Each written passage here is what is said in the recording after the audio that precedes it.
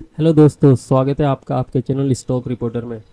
तो उम्मीद करते हैं आज आपका दिन अच्छा खासा रहा होगा और कल जो हमने अब आपको बताया था कि मार्केट में आज एक्सपायरी डे है और एक्सपायरी डे के अंदर क्या हो सकता है सेम एग्जैक्टली वैसे ही हुआ। मार्केट ओपन हुई गैप अप ओपनिंग हुई और गैप अप ओपन होने के बाद भी मार्केट ने निफ्टी ने स्पेशली उन्नीस के आसपास का एक मतलब अच्छा उन्नीस के आसपास का हाई किया और उसके बाद फिर नीचे आया और ये उन्नीस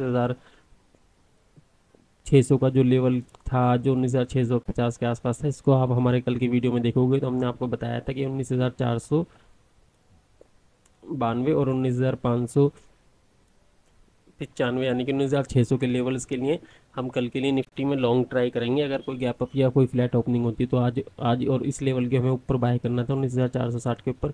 तो गैप अप ओपनिंग हुई और गैप अप हमारा लॉन्ग एक्टिवेट हुआ। लॉन्ग एक्टिवेट होने के बाद मार्केट ने यहाँ पर आया। और लगभग हमारे लेवल्स के आसपास यहाँ पर टारगेट हिट हुआ और उसके बाद मार्केट नीचे आया। अब ये मार्केट नीचे क्यों आया है? अगर हमारे, आपने दो तीन दिन पहले का हमने एक वीडियो डाला था पी आर जेड लेवल्स करके, यानी कि पोटेंशियल किस लेवल की, कहाँ तक हो सकती है, और इसके अंदर हमने आपको एग्जैक्टली कुछ लेवल्स बताए थे। तो वीडियो में आए तो बने रहिएगा, आगे चल के अभी उसके अंदर हम थोड़ा सा उसके ऊपर एनालिस करेंगे कि क्यों उस लेवल से मार्केट उन्नीस के आसपास से मार्केट क्यों रिवर्सल हुआ है आज, उसका बेसिस क्या था, वो सब चीज़ हम आपको आगे एनालिस करेंगे, और ऑप्शन चेन में भी एनालिस करेंगे कि कल का किस किस तरह से काम हो सकता है। तो बने रहिए हमारी वीडियो पर आप चैनल को सब्सक्राइब कर लीजिए, मैं अभी आता हूँ।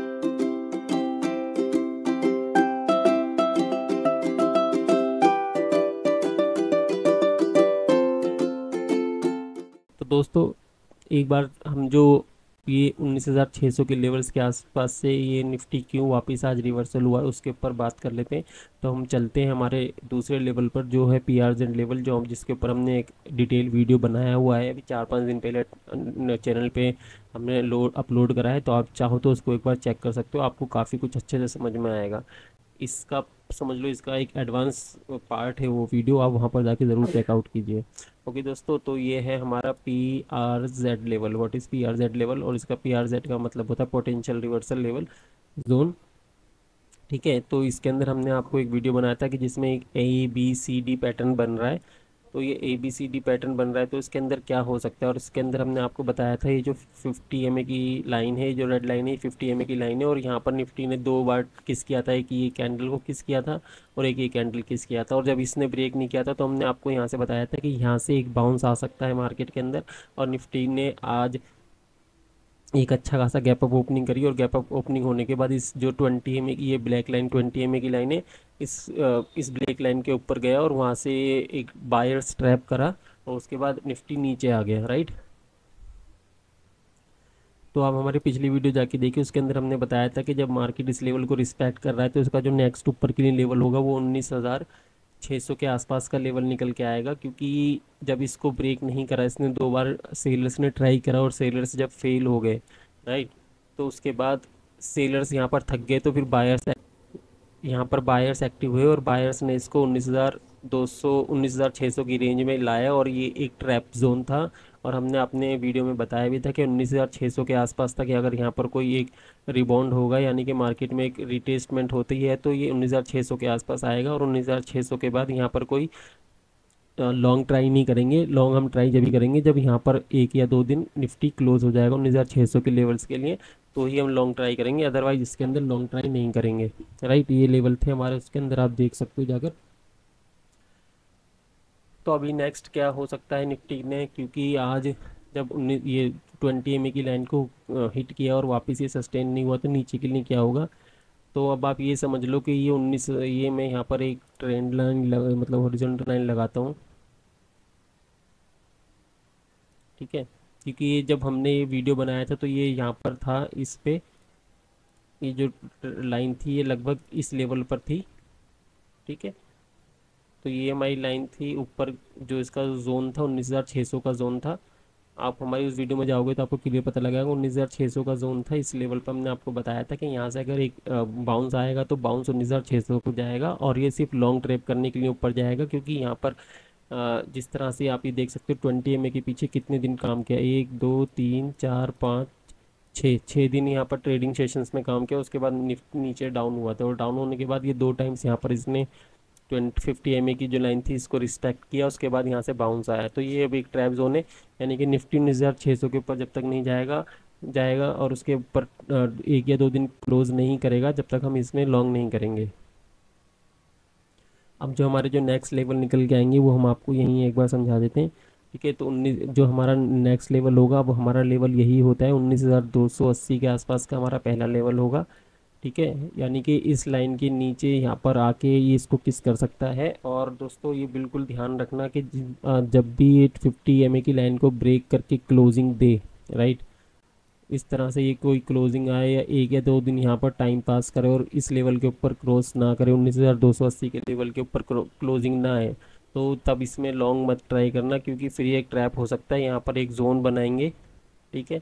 और उसके बाद यहाँ से सीधा मार्केट को नीचे लेके आ जाएँगे, जो कि हमारे लेवल्स निकल के आ सकते हैं, उन्नीस हज़ार उन्नीस हज़ार सत्रह के आसपास और इस लेवल के भी ब्रेक होता है तो अट्ठारह हज़ार सात सौ अस्सी और अट्ठारह हज़ार पाँच सौ के लेवल ये फिर हमको आने वाले टाइम में वीक में या देख सकते हैं।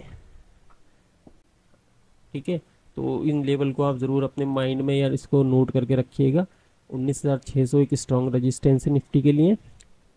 और उन्नीस हज़ार पचास का क्लोजिंग बेसिस पर आप ये नोट कर लो ना बिल्कुल अपने उसमें डायरी में कि उन्नीस हज़ार दो सौ पचास का क्लोजिंग देना, उसके नीचे क्लोजिंग आना मार्केट के लिए बिल्कुल भी अच्छा नहीं है। फिर यहाँ से एक अच्छी खासी गिरावट आ सकती है।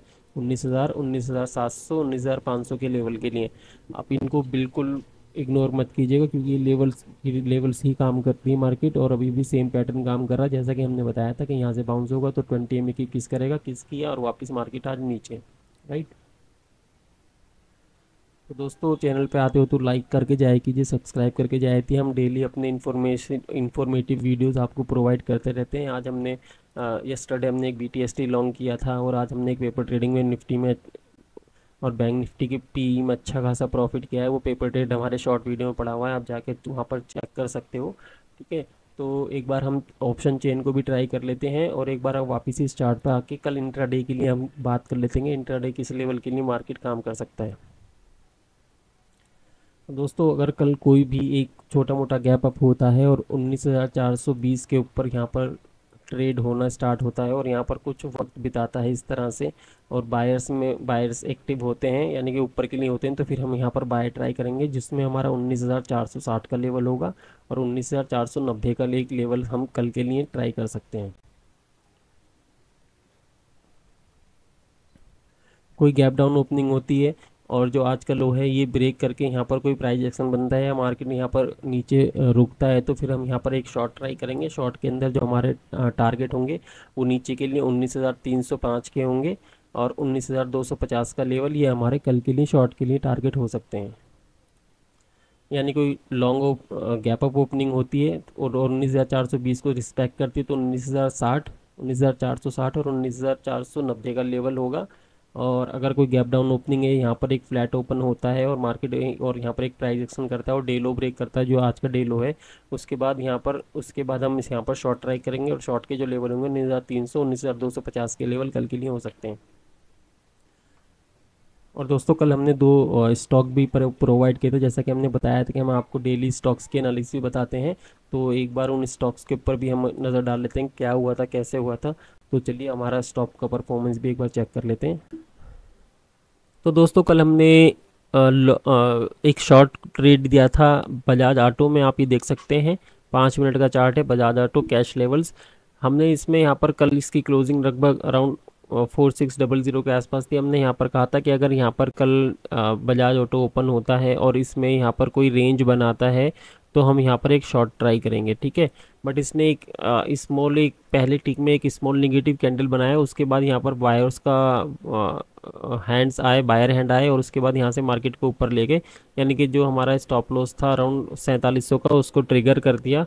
इसने बजाज ऑटो ने और उसके बाद ये वापस से एक सेलिंग स्टार्ट हुई इस लेवल से और वहाँ से वापस आप देख सकते हो कितना अच्छा एक नीचे की तरफ़ मूवमेंट हुआ और जो हमारे टारगेट थे फोर सिक्स थ्री ज़ीरो और फोर सिक्स टू ज़ीरो ये दोनों टारगेट इसने हिट करे और उसके बाद इसने फोर फाइव डबल ज़ीरो के आसपास का लो लगाया इंट्राडे के अंदर।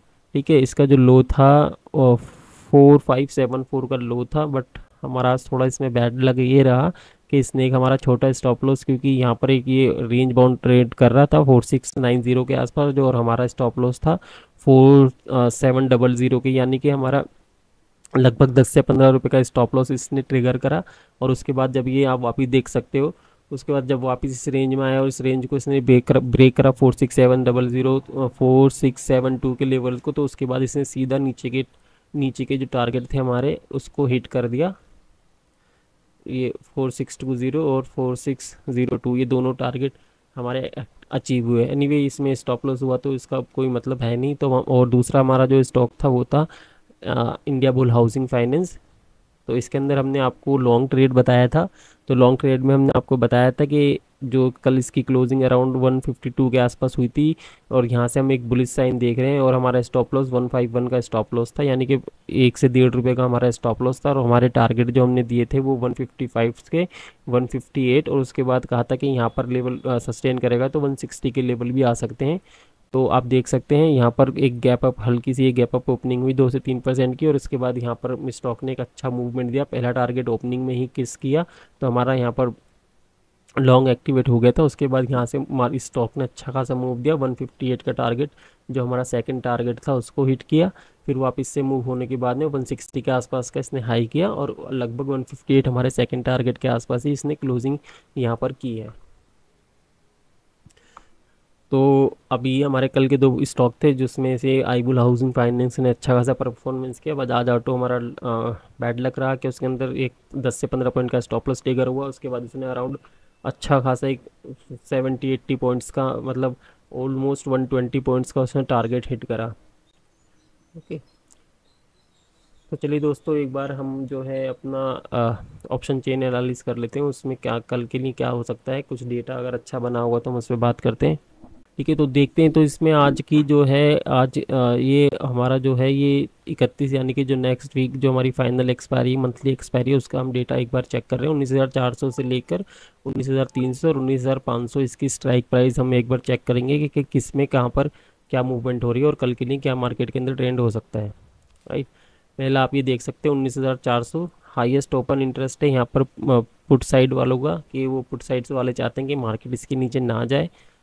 अगर मार्केट इसके ऊपर ही कल खुलता है तो ये अग्रेसिवली और ऐड होंगे और उन्नीस हज़ार चार सौ के लेवल को सपोर्ट प्रोवाइड करेंगे। और हाईएस्ट ओपन इंटरेस्ट हमारा कहाँ पर है? हाईएस्ट ओपन इंटरेस्ट हमारा उन्नीस हज़ार पाँच सौ के लेवल स्ट्राइक प्राइस पर है, जहाँ से आज निफ्टी मतलब अगर क्लोजिंग से देखेंगे तो हंड्रेड पॉइंट के अबव है।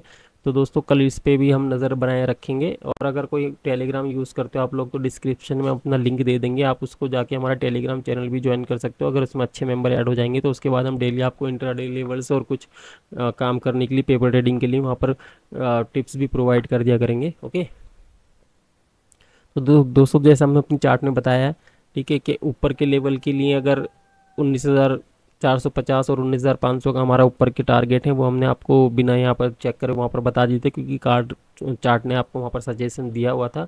और अगर 19,400 के नीचे ट्रेड करना स्टार्ट करेगा तो फिर हमारा जो उन्नीस तीन सौ पचास और उन्नीस हज़ार दो सौ समथिंग के आसपास के जो लेवल है वो एक्टिवेट हो सकते हैं। तो हमें कल ओपन इंटरेस्ट पे यहाँ पर भी ध्यान देना पड़ेगा कि मार्केट यहाँ पर ओपन इंटरेस्ट में कल क्या चेंजेस होते हैं उसके भी यहाँ पर हम आगे ट्रेड करना स्टार्ट करेंगे कल के अकॉर्डिंग ओके दोस्तों, उम्मीद करते हैं आपको हमारा वीडियो पसंद आया हो। पसंद आया तो प्लीज़ लाइक कीजिएगा सब्सक्राइब कीजिए लाइक शेयर कीजिए। आपका अपना channel stock reporter thank you very much